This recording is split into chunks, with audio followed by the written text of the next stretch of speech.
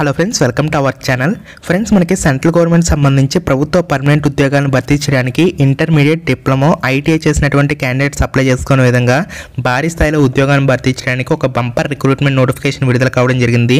ఈ నోటిఫికేషన్ సంబంధించి ఏపీ తెలంగాణ వాళ్ళందరూ కూడా అప్లై చేసుకోవచ్చు. కంప్లీట్ డీటెయిల్స్ అయితే షేర్ చేస్తాను కాబట్టి స్కిప్ చేయకుండా చివరి దాకా చూసి మీరు కూడా ఆన్లైన్లో అప్లికేషన్స్ అయితే సబ్మిట్ చేయండి. అలాగే వీడియో చూస్తున్నారు కానీ చాలామంది అయితే లైక్ చేయట్లేదు.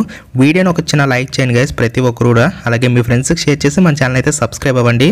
సో ఫ్రెండ్స్ అఫీషియల్ నోటిఫికేషన్ చూడొచ్చు. Government of India department of atomic energy నుంచి మనకి నోటిఫికేషన్ అయితే విడుదల చేశారు. అన్నీ కూడా మనకి ప్రభుత్వ పర్మనెంట్ జాబ్స్ చాలా ఎక్కువ వేకెన్సీస్ అయితే ఉన్నాయి.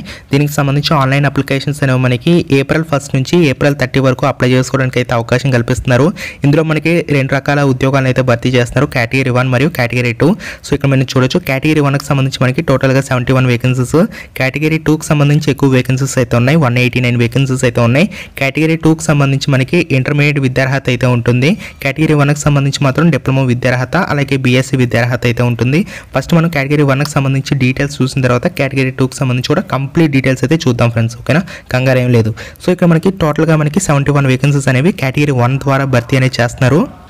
ఇక్కడ మనకి యువర్కి సంబంధించి ట్వంటీ సెవెన్ ఈడబ్ల్యూఎస్ సంబంధించి eight OBC eighteen SC ten SC ST seven PWD one vacancy అయితే. సో టోటల్గా సెవెంటీ వన్ వేకెన్సీస్ అయితే భర్తీ చేస్తున్నారు. ఇక్కడ మనం చూడొచ్చు chemical chemistry civil electrical electronics instrumentation mechanical అని చెప్పేసి.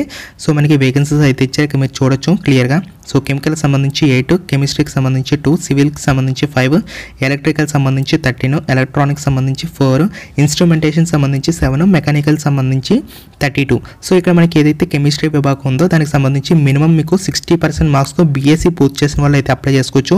మిగతా పోస్టులు ఏవైతే ఉంటాయో వాటికి సంబంధించి మీరు డిప్లొమా అనేది ఆయా విభాగంలో అయితే పూర్తి చేయాల్సి ఉంటుందని చెప్పేసి ఇక్కడ మనకి క్లియర్గా మెన్షన్ చేస్తారు మీరు చూడొచ్చు. ఇవన్నీ కూడా మనకి డిప్లొమా బేస్ మీద అయితే భర్తీ చేస్తున్నారు.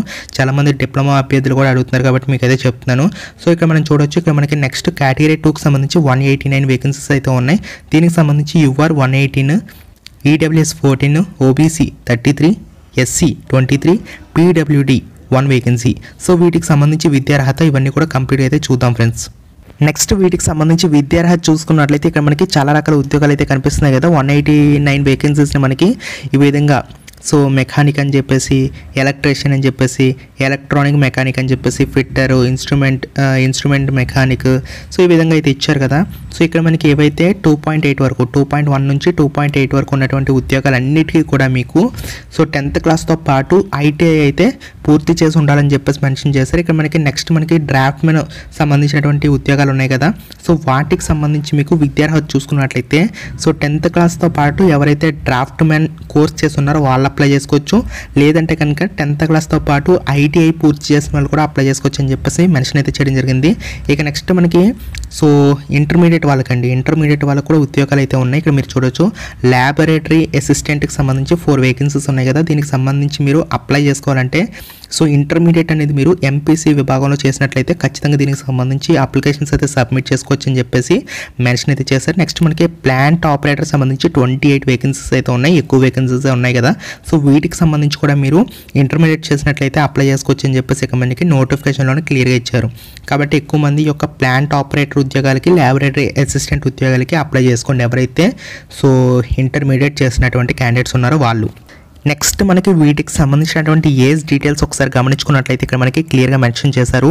సో కేటగిరీ వన్ ఉద్యోగాలకు సంబంధించి మీకు minimum eighteen years maximum twenty four years అని చెప్పేసి మెన్షన్ చేశారు. అంటే ఎయిటీన్ టు ట్వంటీ ఫోర్. దీంతో పాటు మీకు సెంట్రల్ గవర్నమెంట్ జాబ్స్ కాబట్టి ఏజ్ రిలాక్సేషన్ కూడా ఉంటుంది. వాటికి సంబంధించి డీటెయిల్స్ కూడా చెప్తాను. కేటగిరీ టూకి సంబంధించి మీకు minimum eighteen maximum twenty two. So వీటితో పాటు మీకు ఎస్సీ ఎస్టీ వాళ్ళు ఎవరైతే ఉన్నారో వాళ్ళకి సంబంధించి మీకు అప్ టు ఫైవ్ ఇయర్స్ వరకు మీకు ఏజ్ రిలాక్సేషన్ ఇస్తారు. ఓబీసీ క్యాండిడేట్స్కి మాత్రం త్రీ ఇయర్స్ అయితే ఏజ్ రిలాక్సేషన్ అయితే ఇస్తామని చెప్పేసి మనకి మెన్షన్ చేయడం జరిగింది. అప్పర్ ఏజ్ లిమిట్కి మీరు ఏజ్ రిలాక్సేషన్ యాడ్ చేసుకున్నట్లయితే మీకు క్లియర్గా తెలుస్తుంది. మనకి ఫిజికల్ స్టాండర్డ్స్ కూడా ఇచ్చారు. మనకి మినిమం హైట్ వచ్చేసి వన్ సిక్స్టీ సెంటీమీటర్స్ అయితే ఉండాల్సి ఉంటుంది. వెయిట్ వచ్చేసి forty five point five kgs అయితే ఉండాల్సి ఉంటుందని చెప్పేసి మెన్షన్ చేశారు. ఈ ఉద్యోగాలకు సంబంధించి మీకు టూ ఇయర్స్ పాటు ట్రైనింగ్ పీరియడ్ అయితే ఉంటుంది ఫ్రెండ్స్ టూ ఇయర్స్ తర్వాత మనకి పర్మనెంట్ అయితే చేయడం జరుగుతుంది. అయితే మీకు టూ ఇయర్స్ పాటు కూడా ట్రైనింగ్ పీరియడ్ ఉన్నటువంటి సమయం అంతా కూడా మీకు స్టైఫండ్ అయితే ఇవ్వడం జరుగుతుంది. ఆ స్టైఫండ్ మీకు ఫస్ట్ ఇయర్లో ఏ విధంగా ఉంటుందంటే కనుక కేటగిరీ వన్కి సంబంధించి సిక్స్టీన్ థౌసండ్ రూపీస్ అయితే ఇస్తారు. కేటగిరీ టూకి సంబంధించి ten thousand five hundred rupees అయితే ఫస్ట్ ఇయర్ మొత్తం కూడా మీకు ఇస్తారనమాట every month so second year విషయానికి వచ్చినట్లయితే కేటగిరీ వన్కి సంబంధించి ఎయిటీన్ థౌసండ్ కేటగిరీ టూకి సంబంధించి మీకు twelve thousand five hundred rupees అయితే పే చేస్తారు. మనకి టూ ఇయర్స్ ట్రైనింగ్ అయిపోయిన తర్వాత మీకు పర్మనెంట్ చేస్తారు. సెంట్రల్ గవర్నమెంట్ జాబ్స్లోకి మీకు పర్మనెంట్ చేస్తారు. అప్పుడు మీకు శాలరీ అనేది హ్యూజ్గా ఉంటుందన్నమాట. నెక్స్ట్ మనకి సెలక్షన్ మెథడ్ ఒకసారి గమనించుకున్నట్లయితే కేటగిరీ వన్కి సంబంధించి మీకు రిటర్న్ ఎగ్జామినేషన్ అయితే పెడతారు ఫస్ట్ సో రిటర్న్ ఎగ్జామినేషన్ ఎవరైతే క్వాలిఫై అవుతారో వాళ్ళందరికీ కూడా ఇంటర్వ్యూ అయితే చేసి ఈ జాబ్స్ అనేవి ఇవ్వడం అయితే జరుగుతుందని చెప్పేసి మెన్షన్ చేశారు. ఈ రిటర్న్ ఎగ్జామినేషన్ వచ్చేసరికి మనకి forty objective multiple type questions అయితే ఇస్తామని చెప్పేసి మెన్షన్ చేస్తున్నారు. ఈచ్ క్వశ్చన్ మీకు త్రీ మార్క్స్ అయితే క్యారీ అవుతాయని చెప్పేసి మెన్షన్ చేస్తున్నారు. ఇన్ కేస్ మీకు రాంగ్ ఆన్సర్ పెట్టినట్లయితే కనుక ఒక మార్క్ అయితే కట్ చేస్తామని చెప్పేసి కూడా ఇక్కడ మనకి మెన్షన్ చేశారు.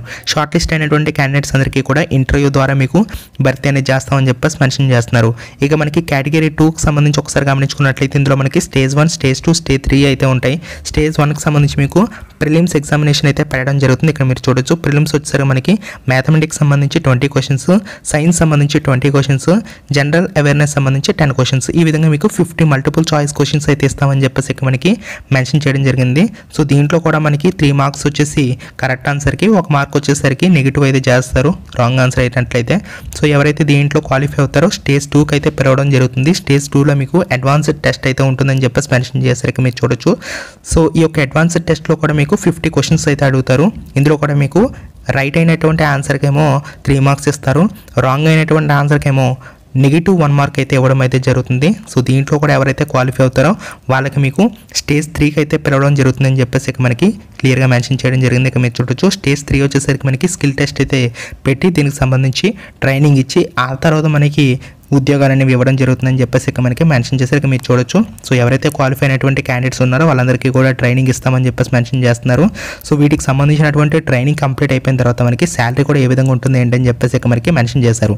సో కేటగిరీ వన్కి సంబంధించి ఒకసారి గమనించుకున్నట్లయితే లెవెల్ సెవెన్ ప్రకారం మనకి forty four thousand nine hundred rupees మీకు బేసిక్ పే అయితే ఇవ్వడం జరుగుతుంది. వీటితో పాటు మీకు చాలా రకాల అలవెన్సెస్ ఇవన్నీ కూడా కలుపుకొని మీకు ఆల్మోస్ట్ ఒక సిక్స్టీ థౌసండ్ రూపీస్ వరకు స్టార్టింగ్ శాలరీ అయితే రావడం జరుగుతుంది ఫ్రెండ్స్ ఓకేనా సో కేటగిరీ టూకి సంబంధించి ఇక్కడ మనం చూడొచ్చు గ్రూప్ సి కేటగిరీ కింద భర్తీ చేస్తున్నటువంటి పోస్టులకు సంబంధించి లెవెల్ త్రీ మరియు లెవెల్ ఫోర్ ప్రకారం twenty one thousand seven hundred rupees twenty five thousand five hundred rupees ఈ విధంగా మీకు బేసిక్ పే వస్తుంది. అన్ని అలవెన్సెస్ కలుపుకొని ఆల్మోస్ట్ ఒక ట్వంటీ ఎయిట్ థౌసండ్ రూపీస్ వరకు మనకు వచ్చే అవకాశం అయితే ఉంటుంది ఫ్రెండ్స్. ఓకే ఇవన్నీ కూడా సెంట్రల్ గవర్నమెంట్ జాబ్స్ కాబట్టి ఇనిషియల్గా మనకి ట్రైనింగ్ ఇస్తారు. ట్రైనింగ్ పీరియడ్లో కూడా స్టైఫండ్ ఇస్తారు. తర్వాత మనకి జాబ్ ఇచ్చిన తర్వాత శాలరీ అనేది చాలా ఎక్కువగా ఉంటుందన్నమాట. సో దీంతో పాటు మనకి చాలా రకాల అలవెన్సెస్ అయితే ఉన్నాయి. ఇక్కడ మీరు చూడొచ్చు. సో ఈ రకాలైనటువంటి అలవెన్సెస్ అన్ని కూడా మనకైతే ఇవ్వడం జరుగుతుంది. వీటికి సంబంధించి మనకి ఒకసారి ఫీజు విషయానికి వచ్చినట్లయితే ఇక్కడ మనకి క్లియర్గా ఇచ్చారు. ఏవైతే వన్ పాయింట్ వన్ నుంచి వన్ పాయింట్ సెవెన్ వరకు ఉన్నటువంటి పోస్టులు ఉన్నాయో వాటికి సంబంధించి వన్ ఫిఫ్టీ రూపీస్. సో ఏవైతే టూ పాయింట్ వన్ నుంచి టూ పాయింట్ లెవెన్ వరకు ఉన్నటువంటి పోస్టులు ఉన్నాయో వాటికి సంబంధించి జస్ట్ హండ్రెడ్ రూపీస్ మీరు పే చేస్తే సరిపోతుందని చెప్పేసి మెన్షన్ అయితే చేయడం జరిగింది. అయితే ఎస్సీ ఎస్టీ వాళ్ళు పీడబ్ల్యూ పీడబ్ల్యూడి వాళ్ళు అలాగే మహిళా క్యాండిడేట్స్ ఎవరైతే ఉన్నారో వాళ్ళకి ఎటువంటి ఫీజు కూడా పే చేయవలసిన అవసరం లేదని చెప్పేసి నోటిఫికేషన్లు ఇచ్చారు కాబట్టి మీరు అందరూ కూడా ఆపర్చునిటీ యూజ్ చేసుకొని మీరు ఫ్రీగా అప్లికేషన్స్ అయితే సబ్మిట్ చేసుకోండి. మనం ఆన్లైన్లోనే అప్లై అనేది చేసుకోవచ్చు. నేను డిస్క్రిప్షన్ లింక్ ఇస్తానండి. అక్కడి నుంచి వెళ్ళి మీరు అప్లికేషన్స్ అయితే సబ్మిట్ చేసుకోండి. సో ఇది ఫ్రెండ్స్ ఓవరాల్గా మనకి ఈ నోటిఫికేషన్ సంబంధించిన కంప్లీట్ డీటెయిల్డ్ ఇన్ఫర్మేషన్ ఈ మంత్ థర్టీ వరకు మనకి లాస్ట్ డేట్ ఉంది కాబట్టి ఈ లోపు మీరు అప్లికేషన్స్ అయితే సబ్మిట్ చేసుకోండి. చాలా మంచి నోటిఫికేషన్ ఇంటర్మీడియట్ డిప్లొమా ఐటీఐ చేసినటువంటి క్యాండిడేట్స్కి చాలా మంచి అవకాశము. కాబట్టి ప్రతి ఒక్కరు కూడా ఈ వీడియోని లైక్ చేసి మీ ఫ్రెండ్స్కి అయితే షేర్ చేయండి. వాళ్ళకి ఉపయోగపడుతుంది.